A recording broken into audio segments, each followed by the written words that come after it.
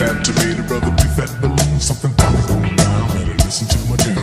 I graduated from the college of the streets, I got a PhD in how to make ends meet. Inflation in the nation don't bother me, cause I'm a scholar with a dollar, you can plainly see.